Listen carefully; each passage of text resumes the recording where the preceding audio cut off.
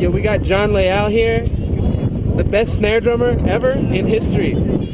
I wish I could turn the camera to look at his left hand because it looks so damn good. Jones. It's really hot today.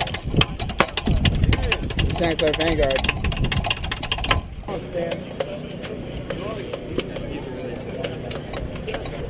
All right, boys.